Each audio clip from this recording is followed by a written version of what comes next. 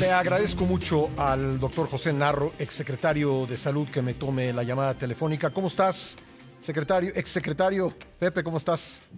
Estimado Pascal, muy bien, muchísimas gracias por esta oportunidad y con el gusto de platicar contigo. Bueno, eh, pues déjame preguntarte en general cómo estás viendo las cosas. Eh, pues con mucha preocupación, lo digo con, con profunda pena y, también con mucha responsabilidad, porque yo creo que estos debieran ser momentos en el que estuviéramos articulados alrededor de una determinación, de una estrategia, y yo no veo la estrategia, yo no veo ni encuentro esa determinación, yo lo que veo es que un día nos dicen que nos abracemos y otro día nos piden que mantengamos una distancia social adecuada, pertinente. Un día nos explican que esto no es grave y al otro día nos dicen que sí tenemos que preocuparnos. O, a veces nos lo dicen las dos cosas el mismo día, diferentes personas. Diferentes personas del mismo gobierno. Del mismo gobierno. Y entonces, esto simplemente lo que marca, Pascal, es que no hay una estrategia. Y tuvimos, este país tuvo más de un mes y medio eh, para tener una estrategia, para planificarla, para desarrollar. Ahora resulta que sí se requieren algunos recursos eh, para hacer compras de equipo y de insumos, pero lo vamos a hacer ahora cuando hace apenas dos, tres semanas se dijo que no requeríamos nada. Claro. Vamos a tratar de encontrar respiradores, equipo médico. A precios carísimos, me imagino, ¿no? A precios carísimos, cuando no hay en el mercado bueno, esto es absolutamente reprochable. Y déjame decirte algo más. Este no es un asunto de un hombre, este no es un asunto de una persona. Aquí no puede ser el subsecretario López Gatel, él por sí mismo no es autoridad sanitaria. Y no puede recaer la estrategia total del manejo de una epidemia, de una pandemia en una persona y se han empeñado en no convocar al Consejo de Salubridad General, que es la autoridad constitucionalmente establecida para manejar temas de epidemia, de enfermedades, dice la Constitución, exóticas, yo diría, modernizando el término, novedosas, desconocidas, y en donde además está representado todo el gobierno. ¿Tú, cómo entiendes esto? Eh, digamos, a veces, a veces veo en el actual gobierno federal eh, pues eh, la gana de hacer las cosas exactamente al contrario de como mucha gente le pide sobre diferentes temas. Pero ¿tiene que ver con eso o, cómo lo explicamos? No, habría que hacerles un, verdaderamente un psicoanálisis, porque si les preguntamos, nos van a decir que el presidente es una fuerza moral, no una fuerza de contagio, de la manera más salamera, de la manera más arrastrada eh, que uno puede encontrar. No, señor, al señor presidente de nuestro país, el presidente de todos nosotros, hay que saber decirle, presidente, así no. De esta manera no se pueden hacer las cosas. No se puede recomendar que no nos abracemos y el presidente estar abrazando. No se puede recomendar que no se tengan reuniones y el gobierno de la ciudad autorizar los el festival que se autorizó del fin de semana pasado.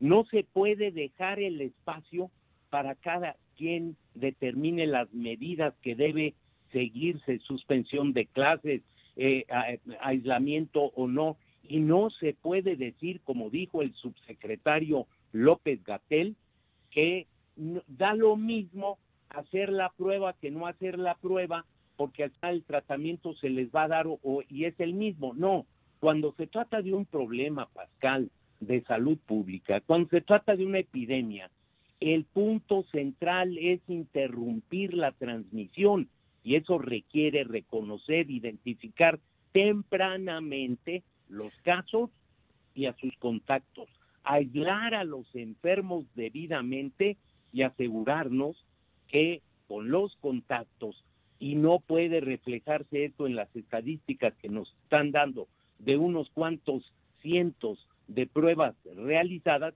que por cierto no sabemos ni dónde, ni cómo, ni cuántas, que se están llevando efecto. cuando la Organización Mundial de la Salud ha insistido en que tenemos que hacer pruebas, pruebas y más pruebas.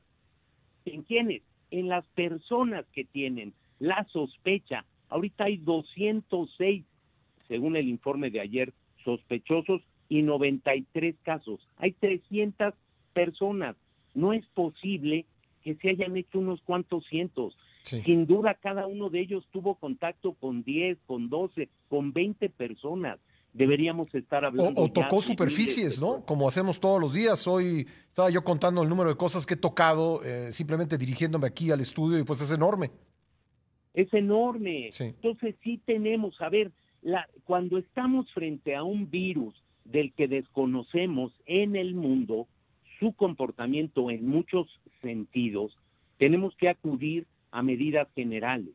Y esas medidas generales no farmacéuticas, no medicamentosas, porque no tenemos ni la vacuna, ni tenemos tampoco un antiviral específico. No hay en este momento. Eh, Pepe, permíteme, me, me, podrías esperar? Tengo que hacer una pausa y regresamos enseguida para continuar esta conversación.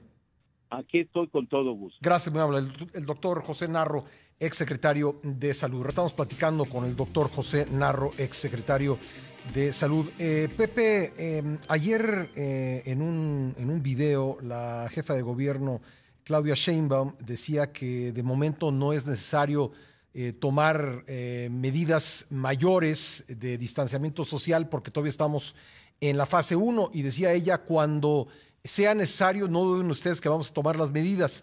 Y te pregunto, ¿no sería al revés? ¿No tendríamos que estar tomando ya medidas más estrictas para evitar llegar a la fase 2? Yo no tengo ninguna duda de que vamos muy tarde, de que eh, estamos tan empecinados en no tomar las medidas que se deben tomar. Eh, eh, entiendo que sea discutible desde el punto de vista técnico, científico y, social y político, temas como el cierre de las fronteras, pero ya no cerraron la de Guatemala. Sí. Ya el, el, presidente de Estados Unidos ya cerró su frontera de común acuerdo con Canadá. Yo no sé qué va a hacer con la frontera sur el presidente, pero no es posible que nosotros no estemos en la lógica de lo que tenemos que hacer. Yo entiendo el problema de la economía, pero ese nos va a golpear, nos está golpeando igualmente o más, porque el mundo no está viendo una eh, decisión, una determinación en el gobierno de nuestro, nuestro país. Y sin duda alguna, aquí se trata de acciones que deben ser puestas con base en lo técnico, en lo científico, en lo epidemiológico. Y por supuesto que las medidas de distanciamiento social hay artículos científicos que están empezando a circular que incluso miden que el impacto que tuvieron en China fue el pertinente, que si no se hubieran tomado esas medidas, el número de casos se, se hubieran multiplicado por 5, por 10, hasta por 50, si no se hubieran tomado algunas de las medidas muy duras que se tomaron. Aquí lo que queremos es, uno, que el Consejo de Salubridad general, que es la autoridad para este tipo de casos, se reúna. Son omisos y no hay una explicación, una justificación. Ahí hay profesionales que darán un punto de vista y ahí está el gobierno en su conjunto. Dos, que se eh, den claridad y uniformidad a las medidas. No es posible que unas universidades cerraron hace una semana, otras al inicio de esta, otras escuelas e instituciones de educación elemental, media, superior estarán cerrando a partir del lunes de la próxima semana. Pues sí, de manera voluntarista, ¿no? No, no puede ser esto. Tiene que haber autoridad sanitaria y eso es lo que estamos extrañando. ¿Dónde está el secretario de salud? No es posible que ni siquiera a la reunión, sea por lo que sea, a la reunión que se tuvo el día de ayer en el gabinete no asista porque tiene otras encomiendas. Este es el tema, Pascal. Este es el problema de México y del mundo y tenemos que actuar y deberíamos hacerlo, insisto, en unidad, no divididos, bien articulados. La respuesta de la sociedad nuevamente es espléndida y sobrepasa a la paupérrima respuesta del gobierno. ¿Qué, tendríamos que, qué, tipo de medidas concretas tendríamos que estar dando en, en estos momentos, habida cuenta de la situación y como reflejo de lo que están haciendo otros países del mundo, Pepe? Sin duda alguna, una mayor acción en el campo para identificar casos y para vigilar la salud y hacer pruebas en los contactos de las personas, de los sospechosos. Corea está haciendo alrededor de 18 o 20 mil pruebas diarias. Sí, y le está resultando, ¿eh? Mande. Le está resultando, está, está logrando contener la expansión. Pero claro que sí, porque esa es la medida fundamental.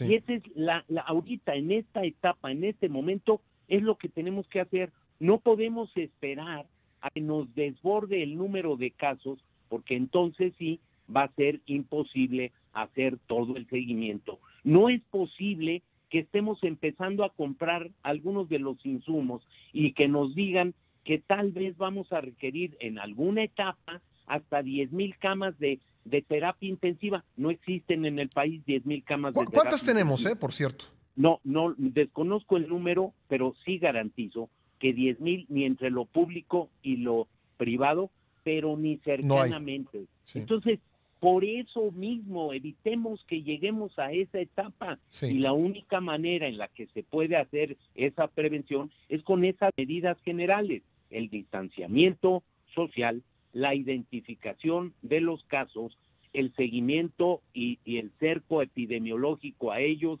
y a sus eh, eh, sospechosos, a sus contactos, y en todo caso, pues, eh, medidas de aislamiento de los enfermos y de la población que tiene que estar enterada de cómo manejar, si no, no, cómo manejar un caso sospechoso y que los teléfonos que se ponen a la disposición respondan, porque yo he recibido numerosas quejas de gente que busca el consejo, el apoyo y que no encuentra respuesta. Bueno, pues hay muchas, eh, muchas tareas por delante, pero todas ellas pasan por eh, la toma de decisiones centralizadas y eso solamente se puede hacer a través del Consejo de Salud de General, convocándolo y poniéndolo en acción frente a esto que estamos viviendo. Y, no creo que, honestamente dudo que los demás países estén viendo algo que nosotros no estamos eh, viendo, es decir, eh, que, están exagerando el peligro y que nosotros estamos tomando las cosas como país en una medida justa se ha tomado como, como eh, comparativo el caso de la, de la influenza. El problema es que aquí no hay experiencia inmunológica, no hay un ser humano, por lo menos no lo, no lo conocemos, que haya tenido una resistencia porque tuvo algún contacto con este coronavirus, con el 19. No hay. Eh, entonces es población, lo tengo que decir así, virgen, absolutamente susceptible eh, en cambio, en los casos de influenza hay cierta eh, eh, experiencia inmunológica, cierto contacto previo, y tenemos vacunas y tenemos otras cosas. Se trata de una condición diferente y de una acción que debiera ser mucho más enérgica, sin duda, a estas alturas. No podemos esperar más y urge la reunión del Consejo de Salubridad General. Pues eh, Pepe, te agradezco mucho que hayas estado con nosotros. Al contrario, Pascal, muchísimas gracias a ti por la oportunidad. Buenos días. Gracias. El doctor José Narro, ex secretario de Salud.